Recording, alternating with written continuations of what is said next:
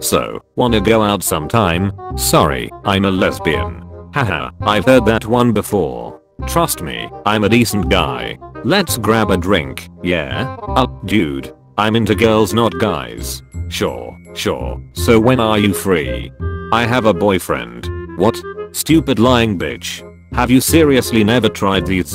Oh wow, it's so sweet. I love how numb and prickly my mouth feels. Wah. More please.